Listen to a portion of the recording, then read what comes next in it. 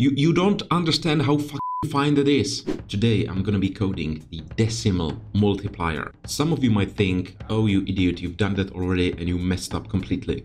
Well, the last week's video hasn't come out yet. I've had a bit of a sleep, a long shower, I cried a lot, but I think I figured it out. So let me try it. Decimal doubler, there we go. So last time I failed miserably, right? This code basically doesn't work because I couldn't figure it out at all. Our goal here is to take this number, which is 1, and double it and give it to someone else. Oh, still the same jokes. Idiot. Anyway, we're supposed to take the number and double it. Then press this button, display the number, double it again, press the button again, and so on. So we need to create this sequence of numbers until we reach at least 8.5 million. What do you mean at least? We can't do anything after that because that's gonna be 16 million and we don't have that many spaces, uh, spots, bits. Anyway, last time I just wrote down the sequence of numbers and tried to figure out a sequence for this first person, the second person, and so on. And the first person is pretty easy. That's 12486, 2486, 2486, and so on. So we could just hard code a sequence, no problem. The issue is with the next person, because there is basically no sequence or no short and easy one. Also, we have to deal with overflows. So if you take a look at these two numbers, that's 16, so this person has 6, this person has 1, and then we need to multiply that by 2 and get 32. 6 times 2 is 12, minus 10 is 2. Easy. But we somehow need to figure out how to tell the next person that there has been an overflow. So the next person takes the 1 times 2 is 2, plus the 1 is 3. Simple as that. And I just couldn't realize that last time I was looking at sequences. Because for the second person that's like 16, 32, 64, 1 to 8. So the sequence is 1, 3, 6, 2. Then we've got 5, 1, 2, 4, 9, 9. And, you know, we're screwed. But that was me being an idiot. So clean slate. There's nothing here happening anyway. Should I just delete this? Yeah, screw it. Reset. Now, what I figured out is just part of the solution and we need to figure out how the people are actually going to communicate the overflows. You could say only nudge the person, you know, he's going to be listening and you tell them when there's been an overflow. But sometimes you need them to multiply that number as well and then overflow. So they have to be active, not just waiting until you tell them. Also, we need to somehow trigger this button person and tell them when to press the button. Now, which of these people should tell them? How, how would that work?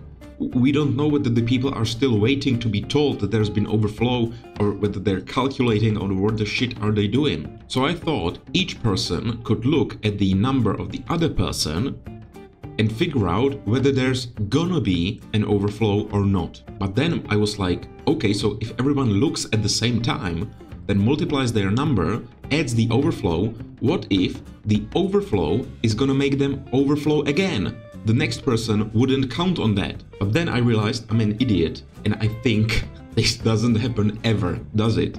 There are no, like, it can never happen. You can only have one overflow and that overflow is not gonna trigger another overflow since we're multiplying by 2, right? I hope we're gonna see but if we had like 99, 9 times 2 is 8, and there's an overflow here, 9 times 2 is 8, I mean 18 obviously, plus the 1 from the overflow is 9, and you can't overflow this twice. So when this person looked at this 9, he learned that there was an overflow, so he's counting on that, but there's only gonna be one. Easy. That's the beauty of multiplying by 2. Anyway, let's try that. And I think that's the way this is gonna work. And this person, no telling, no listening, this person is somehow just gonna waste a bunch of time before pressing the button. So we somehow need to synchronize all these people, right? Cool. So everyone, pick up your data cubes, step down twice. Why twice? So these people are on the sensors, this person presses the button. Oh, hang on, that's not gonna work, is it? Oh no, wait, this person tries to pick up a data cube, he's gonna complain, and these people have enough time to drop their data cubes because the button only senses whatever is on the sensors. So if they're holding the cubes, it doesn't count. So now we should have one displayed, drop the cubes, press one. Awesome. Now, if uh, you are standing on a button, you're gonna waste a bunch of time. Don't worry about it just yet, but we're gonna have a loop here and some time wasting, you know, steps or counts or whatever. And then they press the button and that should give these people enough time to do whatever they need to do, but also it has to be quick because these people are just gonna be going for it again. Or we might have them listen for this person to press the button. We'll see in a while. Anyway, these people are on these sensors with their cubes. Now what you need to do is calculate in memory 1 that's gonna be the overflow, right?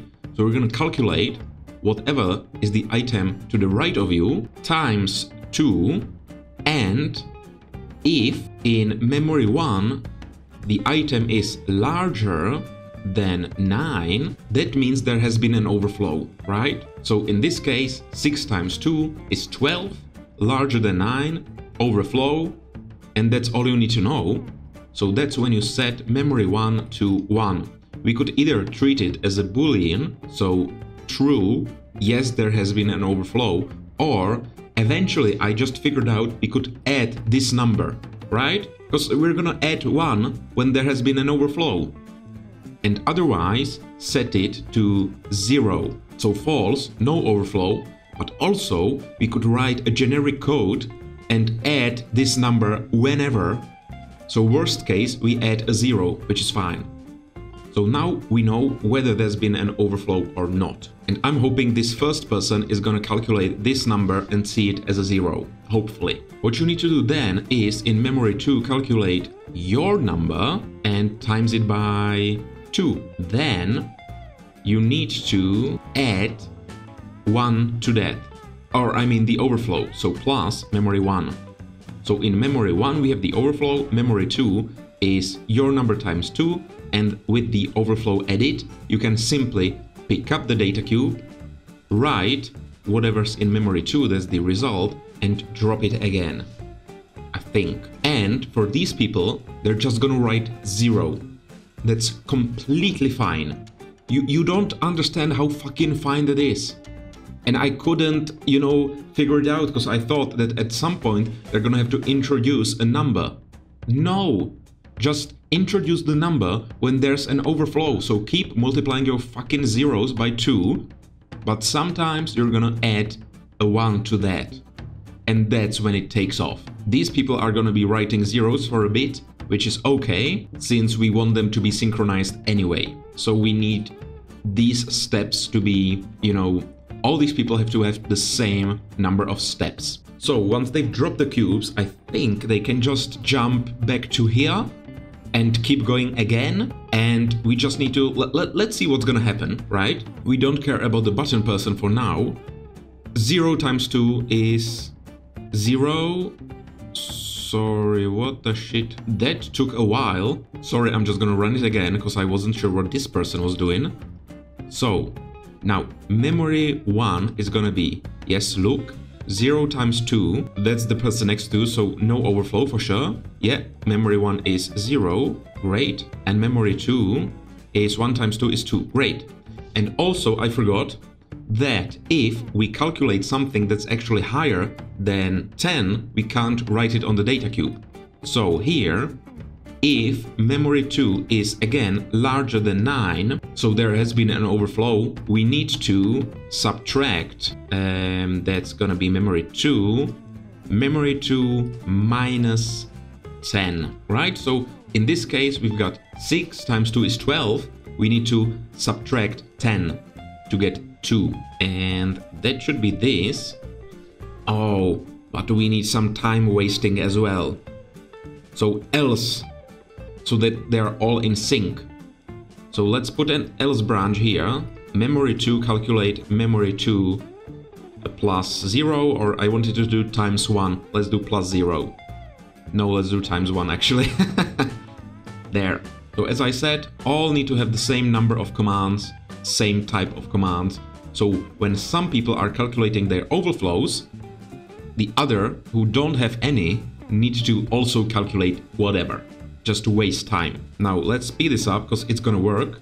So we should have 2, 4, 8, then 16. Awesome. 32, 64. I mean, fuck me, it works. I'm, I'm so happy. Yeah, 248, 496. Oh, fuck, shit. I'm so happy. I was such an idiot last time. I mean, I couldn't just figure this out, you know, because I was... Th that's the thing. I, I just couldn't think about it properly. I just focused on finding some sequences of numbers I could hardcode there, and there aren't any. Anyway, now for this person to waste a bunch of time. So how many calculations or steps do we have? We've got one, two, no, that's just set, two, three, four calculations. This is gonna take a long time. And I don't know what the optional challenges are, so how long we actually need it to take. But we've got four calculations, pick up, write, drop, and one set.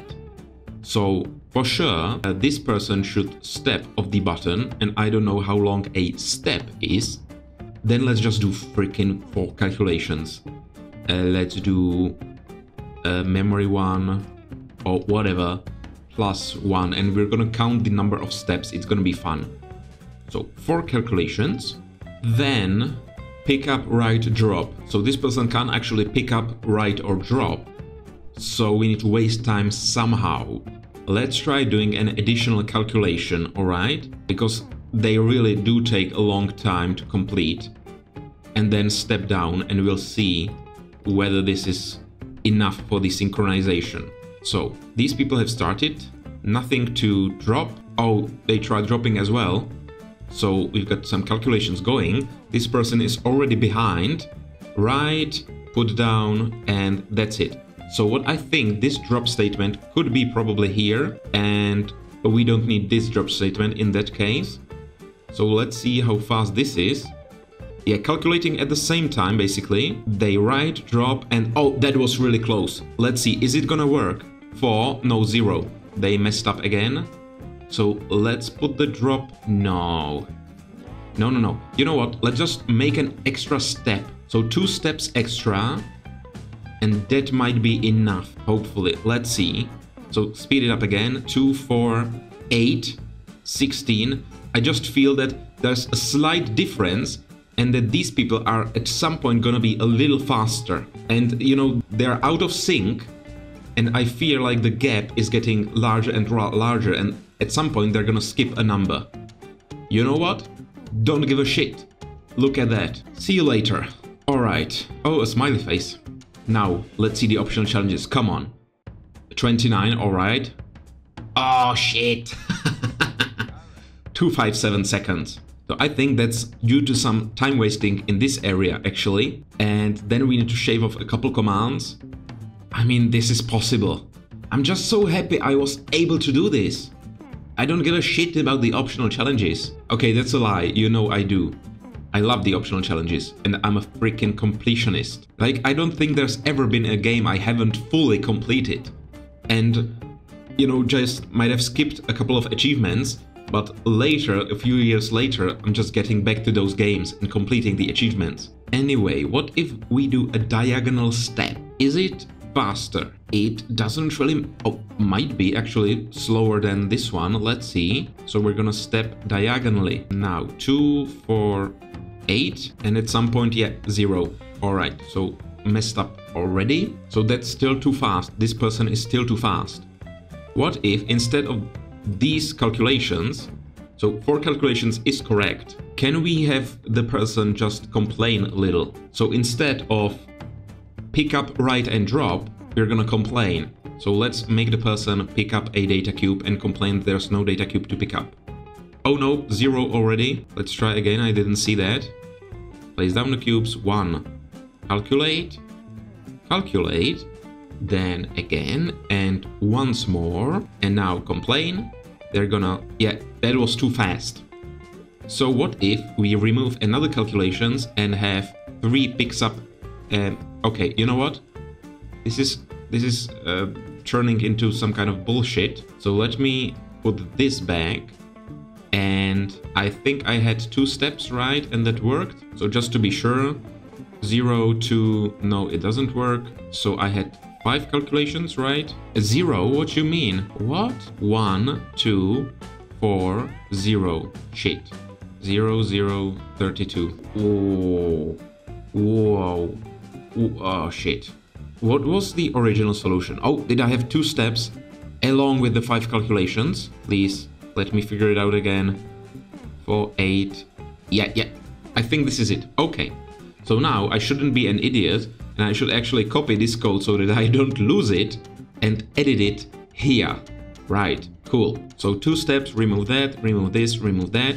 And let's try three pickups. One, two, four, eight, 16, 32, 64. It works, it works. Now, is it gonna be faster by six seconds? I like, you know, seeing these numbers go up. And there's the last one. Yeah, shut up, shut up. No, it's actually the same amount of time. Uh, Alright. Now, is there a way to shave off a couple seconds? A couple commands, I mean. Because, what was it? Uh, optional challenges. We need 25 commands, so we are three over. I think the three commands over are probably gonna be in this area with these calculations which don't have to be there. So let's say that this person is just gonna listen for, I don't know, goodbye. It's the last level, you know. And once these uh, and once these people drop uh, the cubes, they're gonna say goodbye. Oh, but then we need to do two drop statements, don't we? Oh, that sucks. How do I do that? Because we need to have that after the drop, right? Or is there enough time for them to tell everyone goodbye? Drop the data cube before this person steps down. Let's see. So yeah, they're listening. Calculate. Right. Goodbye. Drop. Oh, there's a 2. They managed in time 4. 8. Nice. This is gonna be much faster for sure because there are no precious seconds wasted for this person before the button is actually pressed. Come on, let me see that optional challenge. So that might be actually both of the optional challenges, right? 24 and I forgot how many we needed. Yeah, goodbye, see you later. So, 25, 24, nice. And let me, oh, what the shit? Are you kidding? So really, in this game, tell and listen takes way too much time. You know what? Let's do something different. Once this person drops the data cube, that's your go time. Oh, but the data cube has been dropped for a while, hasn't it? Oh, uh, you know what? We could pick it up straight after dropping. Because it doesn't matter when, the, when they pick it up, actually. Because when you look at the right number, of, you know, the number next to you, you should be able to read the data cube even if someone is holding that. So you're gonna be uh, looking at the this thingy.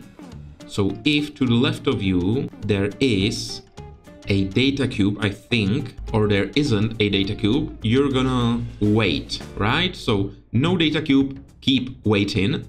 And once they drop it, you're gonna see it and step down. And hopefully they won't have enough time to pick it up. All right, let's see. One. Yeah, picked up. Put down. Oh, zero. Shit. So they picked it up before you could read it, right? And drop, press. Wait, wait, what? This person wrote a zero. Why? Why? I screwed up somewhere. How is that possible? So you still got one, and then you add a zero. What? In memory 2, oh, you're calculating the item you're standing on, but you should be calculating my item. So let's try again. 0 again, 4, 0. Okay. So this synchronization doesn't work. We need a different way to shave off 6 bloody seconds. What if we do it with an extra step? Here and... no, no, then, then this would be off again. They pick it up too fast. But if we put it here, then there's gonna be way too much time wasted and this person is gonna press the button multiple times, right? Yeah, I, I, I didn't even... Yeah, see, 220, that just doesn't work. So this is wrong. What if the rightmost person presses the button? I'm, I'm not sure. Is that gonna be faster? Well, maybe. So the button person just does the single button press, and then we have an infinite loop here. And once these people drop their data cubes, they're gonna step diagonally down and back up, which means that this person is gonna press the button. One, two, four. Yeah, it does work for sure. I is it gonna be faster? I, I don't think so, because we would ideally want these people to be already calculating while the button has been pressed. But I just wonder, you know, how fast is this gonna be? Interested to know. Oh, much slower. Alright. Last time trying with the goodbye listener. And yeah, I, I just don't think I'm gonna be able to complete the optional speech challenge this time. But there are sure gonna be some helpful hints on the YouTube video. And if I'm not gonna be called an idiot in the last week's one, I'm gonna be... I'm not gonna be mad, I'm gonna be disappointed. But also happy because no one called me an idiot. Uh, yeah, no, 16 seconds. There's there's no way. And what was this? Yeah, five calculations. But that was faster, wasn't it? I, I, I think so. Yeah, you know what? I think I'm trying to optimize the wrong part of the code. I think this is the space we should be optimizing. Since this lady at the, you know, last iteration doesn't take 16 seconds to press the button. Okay, 7 seconds. Yeah, it, it, it doesn't. She doesn't. So somewhere we're wasting time with these people doing all of this. I think we don't need the if statement since we have two if statements twice basically. So we could calculate memory to our result first and then we either set overflow to 1 and subtract uh, 10 from our result or we set overflow to 0 and waste time for those people who have an overflow. In that case, we don't need this if statement, which should theoretically save us a bunch of time. What the fuck?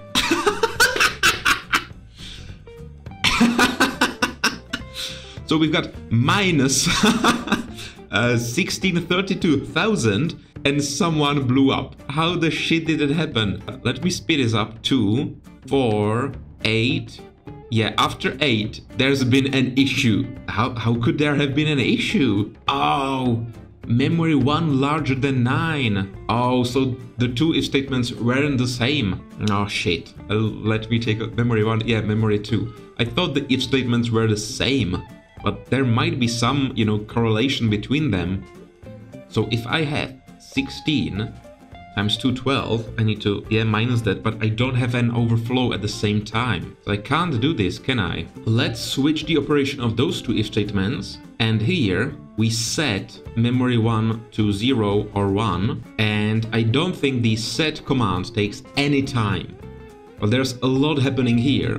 What if instead we say, don't set it like that, but say calculate memory 2 plus 1 if there has been an overflow and memory 2 plus 0 with no overflow. So we don't set, we just calculate. So these numbers should be the same. No one blow up. Yes, that's great. And now this lady is uh, gonna be too slow anyway. We might have to speed her up since we've got one, two, three. Uh, okay, it worked, but again, that's this lady, you know, making it slow. Yeah, that's the same time. So the people might have been faster, so we maybe don't need those two steps. One, two, four, zero. No, shit. You know what? I don't know. I don't know. You, you tell you tell me. But I'm quite happy with myself. And I'm not gonna spoil it just yet, but the level Goodbye Humans, I'm gonna save it for the next time. And it's not just a, you know, cutscene that's gonna come here. So that might be a level when, we finally enjoy killing some people and really have a task to kill people. That's gonna be fun.